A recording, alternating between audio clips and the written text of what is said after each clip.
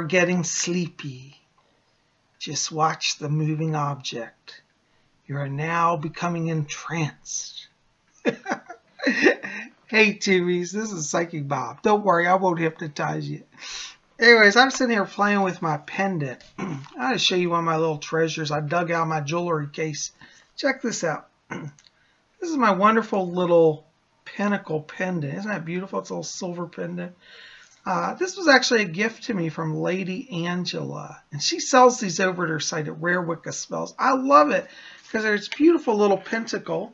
I just put on a little silver chain. And it's nice and light. You know, some days you don't want to wear heavy stuff. You know what I'm saying? But this is a great little pendant. And I love it. I'm carrying my sacred symbol with me. And I love it. Thank you, Lady Angela. Love you, darling. If you guys want to get one of these, she sells them over her website at rarewiccaspells.com. I'll put the link below. Definitely check that out. You guys are the best. I tell you, I've had such a good time with you. I want to say thank you to all of you who came out to yesterday's video. I tell you, we had such a wonderful time. We did a What's in My Bag video. If you didn't see that, check it out. It's in the queue right before this one. well, here it is. It's a new week. It's Monday. And you know, guys, I've taken the last few days off of doing horoscopes. I've just had to slow things down. I've been so overwhelmed with readings. And Psychic Bob has to tell you something. Now, don't don't kill Psychic Bob. But you know, when I started daily horoscopes, I did not, I don't think I anticipate how much work it's going to be. Um, for those of you who are new here, you may not know, I run my own business. I am a full-time psychic medium. And so when I'm not doing YouTube, I actually have a whole list of clients that I do readings for. Uh, and then I also have media appearances. I'll do radio shows and different things. And then I've got book signings. And, you know, it gets really crazy busy for Psychic Bob. So things are a little, a little crazy for me. So I've come up with a solution to our horoscopes problem. Now, you remember when we first started horoscopes, I did horoscopes once a month at the beginning of the month. Well, I don't want to go back to that because that just keeps everybody waiting too long. And I enjoy astrology. I'd rather do it a little more regularly. But I don't know that I can actually produce two videos a day every day. So I'm going to commit to getting out one video every day, which will be a teaching video. And then once a week, I will put out a horoscopes video. So what we're going to do is we're going to go have to go to weekly horoscopes. It's a, I know it's not as great as daily, but it's much more um, regular than monthly. So, so every Monday we're going to have a horoscopes video, and I'm going to go through the whole week. Like so, for example, uh, the horoscopes we're going to cover for today are for Monday, February 27th to Sunday, March 4th. So it's going to be seven day cycle here of horoscopes. And so next Monday, we'll have another video for the next week, okay? So anyways, um, I know that's going to disappoint some of you, but please understand, I will commit to at least one video every day, and then we'll have horoscopes once a week. I hope that works for you guys. It's the best I can do right now, and I hope that uh, you're not going to be too upset with me. But we are going to have our horoscopes today, and you know, this is a wonderful time because we're just also starting a new month here. We're getting ready to go into March. And, you know, we're starting off this week. In fact, let's go through some of the, the highlights of this upcoming week. Uh, again, this is for Monday, February 27th to Sunday, March 4th. 2017 okay well today we start off with our sun there's our big central sun it's up here in the sign of Pisces. Pisces is the fish. Is that wonderful? And guess what? Our moon today is also in the sign of Pisces. So we're starting off Monday with a double dose of water energy. Now, what does that mean for you? Well, water energy helps you be in touch with your emotions. Water energy can be cleansing, it can be healing, it can be nurturing. It's a great time to get in touch with how you really feel about things rather than what you think about things. So today, Monday, use this day to feel your way through the day, okay? So it's a wonderful way to start. Now, we are going to have our moon move into Aries tonight around midnight. It's at uh, exactly, it'll be 11.51 p.m. That's Eastern U.S. time. Um, I'm in Washington, D.C., so that's where I'm basing my time zone off of, Eastern U.S. Uh, 11.51 p.m. Eastern U.S. time. Our moon is going to move from Pisces over into the sign of Aries. Let me turn that around. There you go. There's Aries, our ram, okay? So that's going to bring in some fire energy. That's going to get things a little stirred up here. Um, now, we also have some other interesting aspects that I want to touch on for the week. Now, these aren't every single planetary aspect. I could do a whole hour just on that. But I'm just hitting some highlights before we go into the individual signs. And if you're new here, listen up because I cover all 12 zodiac signs. And everybody watching this will get a horoscope reading, okay? All right, so Monday, uh, one of our big transits, besides all that water energy, is that Mars today is in opposition to Jupiter. What that means is you've got to be doubly careful around money issues. You may find people are a little sensitive. If you go to, you know, discuss a loan with somebody, probably not the best day. Uh, steer clear of banks and transactions. Try to Try to stay out of the financial world as much as you can today. With Mars in opposition to Jupiter, Jupiter brings blessings, but Mars brings up the negative side of that. So it's like money might come to you, but there might be a struggle to get it all resolved. So be careful with that today. As we go further into our week, Tuesday, we have an interesting day on Tuesday because our moon is aspecting Venus, and that's a planet that brings beauty, romance, feeling good. So Tuesday's a good love day for all of you. If you're looking for a date, ask them out on Tuesday, and you're sure to have a date. And you'll look good. If you got to do a presentation this week, Tuesday's great because you will look good. People will receive you well, okay? As we get into midweek on Wednesday, we have interesting transits in that our moon is in opposition to Jupiter. Um, this means that the money issues come up again in a negative light. Um, this is one of those days where you just may not feel right about a financial situation. Trust your inner self. Don't push it. Uh, try it again. Probably I'd say Monday through Wednesday, really, I'd be very careful in the finance area, okay? We also have our sun aspecting Neptune, which is interesting because sun is, the sun is our illuminator. Neptune deals with the inner psychic issues, the hidden things. So it means that which is hidden will come to light. And with that moon in opposition to Jupiter, that means there could come up sudden uh, financial things you weren't expecting. Like so, you know, it's a good day to kind of review your finances to make sure that your bank accounts are all normal. Uh, make sure your accountant's not stealing from you. Ooh, hope not, right?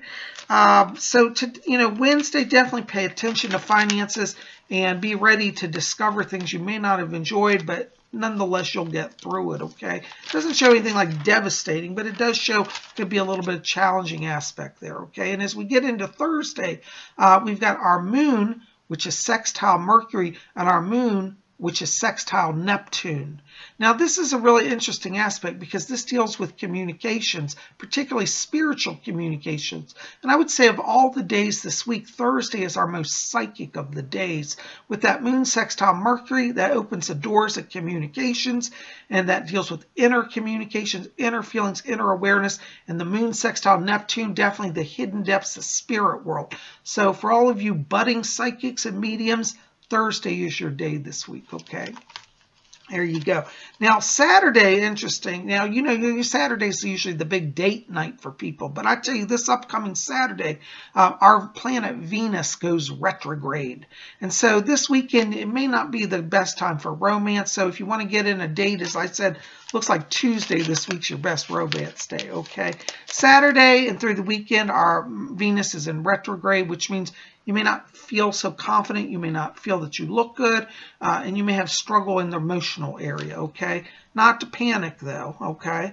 Um, just take it light. Now, you know, I'd say really through this weekend, just rest Saturday and Sunday, this upcoming Saturday and Sunday, because uh, on Sunday we've got a lot of negative aspects. Our moon is square Neptune, which means you'll feel disconnected from your spiritual self. Our moon is square Mercury, meaning communications might be challenged. And our sun is square the moon, meaning your sense of your inner self and your inner illumination may feel challenged today. Uh, so this weekend, I would say Saturday and Sunday, make these rest days, chillax. Don't worry, going into next week, things start to shift again. There'll be a lot more powerful aspects. But anyways, that's just a little overview of what we got going on um, this upcoming week. So let's get down to it here and let's talk about our. Okay, so there's our overview of the major transits for this week. And uh, we're going to pop over now and spin around our big zodiac wheel and see what's in the stars for you this upcoming week. Again, this is for Monday, February 27th to Sunday, March 4th, 2017. Listen up if you don't know your zodiac sign.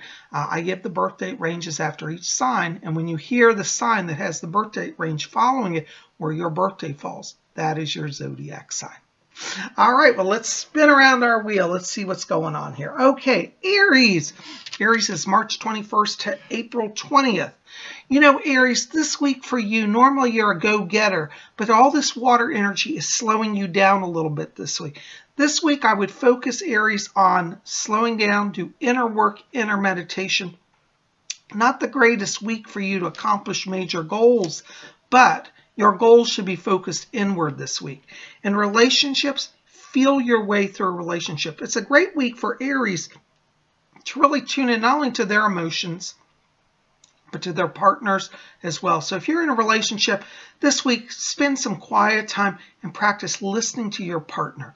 Listen to everybody around you. Aries, this is a week where you don't want to jump into the fray. You want to stand back and watch everything happen and then form an opinion. And I think really in terms of action, it'll be the next week after this that you'll have a better time. Okay, your key word this uh, week, Aries, is reflect. All right, our next sign is Taurus, April 21st to May 20th. Uh, you know, Taurus, right now you're a little bit like the Aries. This is probably not the strongest action week for you. Uh, Taurus, you're really good at kind of being behind the scenes. And this week I would focus on staying in the background, not necessarily being the front man, the fore leader, the forerunner.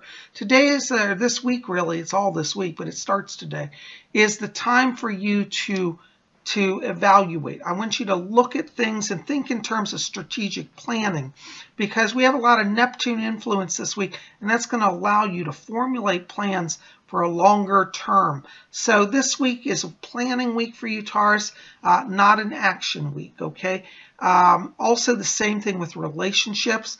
Uh, use that water energy to your advantage. Now, as an earth sign, you're much more in tune with that emotional aspect. So let that be your power maybe struggle today with the air energy in this upcoming week. So let the water and the earth energy balance out your power and draw from that. You're going to be okay.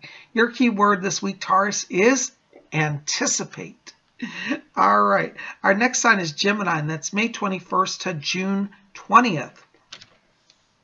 You know, Geminis, this week for you is an excellent week to take all that inner emotion that's being stirred up and put it into action. Uh, you want to share your ideas. Gemini, this is not a week to stay silent. Some other signs have to stay silent this week, but not Gemini. Your air energy actually is a form of power this week, and it will help you to set things in motion. Particularly today with all that water energy, that air energy stimulates motion and movement. So Gemini, this week, make sure to be seen, make sure to express yourself, share your ideas, share your thoughts. Even if it's a little bit of a crazy week and people are not totally focused, you're planting seeds that will bloom in the coming weeks, okay? Your key word this week, Gemini, is express. All right, our next sign is Cancer, and that's June 21st to July 22nd. Uh, cancers, for you right now, teamwork is the key. Uh, cancers, you tend to be a little more in inward looking and sometimes teamwork can be challenging for you because you'd rather do it on your own. But this week to get through all the crazy energy that's happening, you're going to have to align yourself with others. Excellent time, particularly in the career area, to figure out who your friends are, get to know them, and build a stronger rapport. Cancers will find also this applies in into relationships. So if you're a Cancer and you're either just starting in a relationship or looking to start a relationship, think in terms of friendship build the friendship, and then the love comes after that. So you're going to work with others and try to get a star on your report card this week that says plays well with others, and then you'll be successful. Your key word this week, Cancer, is collaborate. All right, our next sign is Leo, and that's July 23rd to August 22nd. You know, Leos, uh, right now you're a little challenged in the financial area. But where you have your power right now this week is in sharing your ideas. So, you know, particularly in the area of finances, as you know, we're having a lot of challenging transits. We're also having some inner work challenges for some signs this week. But you're one of these signs who actually has what we call transcendent power. It's like you can rise above it and let your light shine. So don't hold back this week. Really jump into everything with both feet forward. Express your ideas. Very much like Gemini, you want to share the words of wisdom and this will bring you success. So don't hold back, jump into everything. This applies to love as well as business for you. Your key word this week, Leo, is win. Go for the win. All right. Our next sign is Virgo, August 23rd to September 22nd. You know, Virgos, the last few weeks for you have been interesting because you've been doing a lot of stuff. You've been stretching your boundaries. This week is probably a better week for Virgos to step back and kind of retreat from things. Virgos will find that this is a good time to work on inner reflection, on spiritual development, not so much a great week for outer world activities. Uh, with all of these challenging aspects we got, particularly this upcoming weekend, Virgos would do well to even get out of town and forget everything for a little while. Excuse me. oh, having allergies today. so, Virgo, your key word this week is rest. Our next sign is Libra, and that's September 23rd to October 22nd. You know, Libras, right now you want to really look at things in terms of strategy. This is a great time for Libra to work on planning. Uh, Libra, you may find that timing and sense of acting out your plans may come later in the month, but right now is a time to sit and be methodical and be very calculated. If you're a Libra and you've got a Virgo friend, you might want to invite your Virgo friend over because they're great at organizing and they will help you get things in order so that you can see your way to success. Uh, in terms of relationship, Libra, also, you want to look at things in terms of who is in your circle, who can you trust, who do you love, and, and stick with them. Loyalty is the key here. You're loyal to others, they're loyal to you. Libras are great friends, so you've got a lot of good people around you. Your key word this week, Libra, is calculate. All right, our next sign is Scorpion. That's October 23rd to November 22nd. Um, you know, Scorpios, right now, there's a lot of sense of nourishment. There's a lot of water energy this week, and that is actually strengthening you and stimulating you to great expression. Uh, Scorpios will find that if they do inner work this week, if they work on meditation, they work on prayer, they work on getting in touch with inner healing, they're going to have a lot of success in the coming rest of the month. So Scorpio, right now, even though other people around you might say, well, I don't see you doing anything, Know that you're working inward, and that is where your success is. Your key word this week, Scorpio, is savor. Savor each moment and reflect. All right. Our next sign is Sagittarius. That's November 22nd to December 21st. You know, Sagittarius, right now you're seeing the far vision. All this Neptune energy that's coming in this week has you being very visionary. And you want to honor that and know that you can set goals now and really start to see them get going. Um, in terms of relationships for you, this may be a little bit of a challenging week because you may feel like there's things that are blocking your communication, but don't worry about it. Step into your philosopher mode and rise above it and see the whole board. You know, life is like a chessboard, right? So don't get stuck in the moment of what's immediately in front of you. Rise above it and see the whole lay of the board, and then you'll have a clearer strategy. Uh, definitely pull on your philosoph philosophical power and pull on your wisdom this week to get through this week. Your key word this week, Sagittarius, is reach. Reach for the stars. All right, our next sign is Capricorn, and that's December 22nd to January 19th. You know, Capricorns, everybody around you is rushing around acting crazy. There's some weird transits this week with uh, Neptune, the Sun and the Moon, and Mars, and people are going to be a little zany in your world. Uh, when you see something you want to go for, don't rush because haste makes waste in your case. What you want to do is slowly and methodically approach the things that you want to deal with and take your time. The world will wait for you, Capricorn, so you don't have to you don't have to rush, okay? Take your time, be slow. This also applies in relationships. Uh, you know, I know some of you would say, well, that one person I like, they got away because I didn't act quick enough. Listen, if you rush even in relationships this week, you're going to have struggle. So take everything slow, no running, walk slowly, walk methodically. Your key word this week, Capricorn, is walk, not run. All right, our next sign is Aquarius, and that's January 20th to February 18th. You know, Aquarius, you are definitely in psychic mode. Uh, you know, as we are talking about that earlier this week, uh, there'll be a lot of psychic energy around you. Well, that carries through for the whole week for Aquarius. Your air energy this week is really where your power is. So draw from the ethers for everything you need. Uh, people around you may accuse you, Aquarius, of being impractical or time wasting. Ignore that. This week, it's all about what you're receiving. Remember, the world around you cannot see the beam of light that comes into you from the spirit world. So don't worry that they're not following right now. In time, they will understand your journey. So be true to yourself. Let your channel flow this week and let the spirit world lead you. This is where success is for Aquarius. Your key word this week, Aquarius, is channel. All right, our next sign is Pisces, and that's February 19th, to, excuse me, February 19th to March 20th. Uh, you know, Pisces, despite all the crazy zaniness of the week, you actually are the social butterflies. And you'll find that simply by being present and being cheerful, you accomplish a lot this week. Try to understand, Pisces, that the energy right now is not present for you to push hard on agendas. As we talked about that negative Mars Jupiter aspect that occurs this week, that means you're going to be challenged. For you Pisces who work like, for example, in sales or, you know, trying to, to um, you know, secure major deals, you may find people resistant this week. The key to getting around the resistance that you may encounter is to be charming. Pisces, you have that natural water energy, and it just makes people feel nourished by you. So if you nourish others this week, in turn, you will be nourished, particularly financially. Your key word this week, Pisces, is socialize. All right, well, there we go, guys. We got around our big zodiac well, and there's all 12 zodiac signs. I'm so glad you're here. Listen, let me just remind you, you know, as I always say, it, but it's true.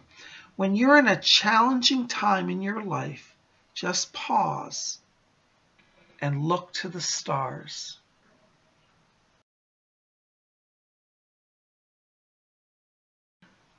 The stars and planets above us are always evolving, always revolving. And each day brings a new sunrise, and that means a new day, and there's always new hope. So don't give in to despair. Let the stars be your guides and allies on the way, and you will be blessed. And the universe wants to bring you a new day and a new hope. Well, guys, thank you for being here. You are the best. I love you. I send you all my blessings.